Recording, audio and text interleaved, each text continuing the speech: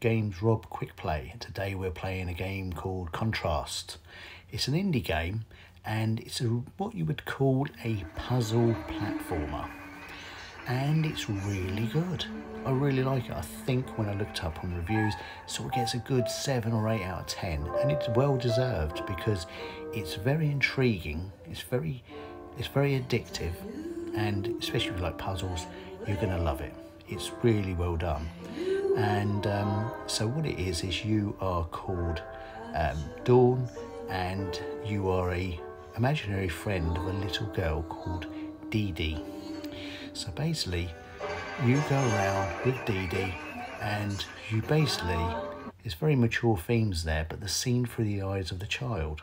So you follow her around, and she'll go to all these different areas and different scenarios and part of the story, and you'll basically work out with the use of shadows how to get out of these or complete these levels. Simple as that. Just lots of different, really well done puzzles um, in different environments. Um, a bit like this one here. So you got a, you'd have a spotlight there, and if once you've got it in the right place, you can then, as you saw there, I jumped in out of the shadows to get across that bridge. There's some tricky puzzles in there, believe me. Um, stumped me, a couple of them stumped me for a little a little while. I had to keep messing about till I got it right. But it's one of those trial and error things. You keep on trying until you get the right thing. So here we go. Here, you're trying to get up to that balcony. So what you do is you move these sort of cardboard cutouts and you manipulate them in, into the right sort of place. Obviously, looking at the shadow in the background to decide on how you would negotiate it when you jump into the shadow.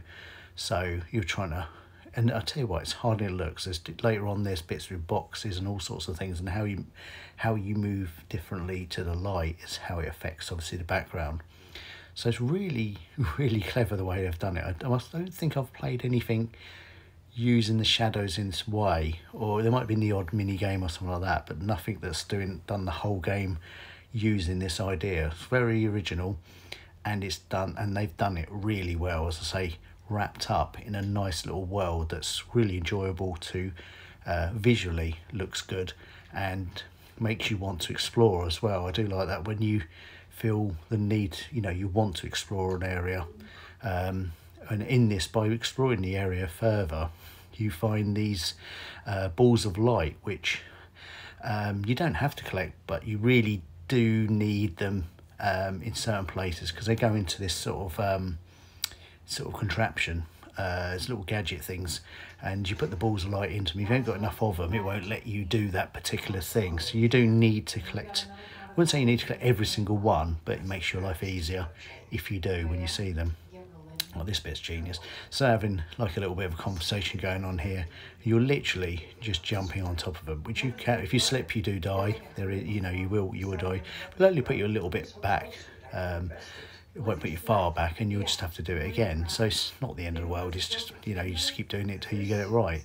Same as most games. But um, I just think they've got the controls right. It looks good. It's, it's just you can tell there's a lot of um, love gone into this game. So this particular level here is where I actually am now. I haven't got any further than this actual um, level, but um, it's all done in a um, circus. And um, you're trying to repair uh, three different attractions. And when you've done that I suppose it will complete that level. Um, I've done a couple um, but this one here quite like this.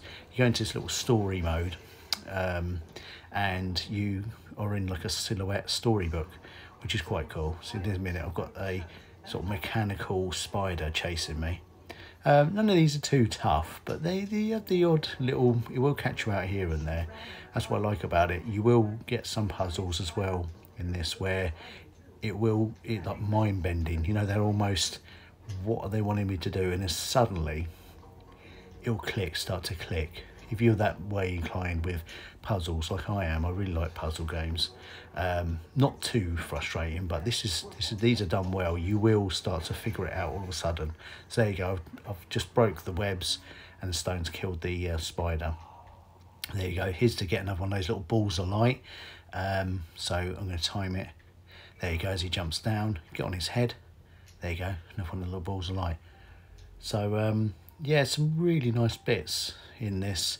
As you can see, it is a it's a very visual game. They have made the most of these shadows, and um, this particular level, I think you've got to unattach the balloon, free the balloon, which um, I do on this bit here. I think that's as far as I've got really, but um, I just I just love it. I'm telling you, if you haven't played this, if you've got the Game Pass, um, I would say this is a definite play it as soon as possible because it's really good. It's very, very original and nice looking game.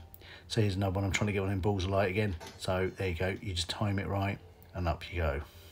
Um, and uh, what a great game. So yeah, I'll give that a double thumbs up. Absolutely great. And I'll see you on the next one. I'll see you later. It's Games Rob.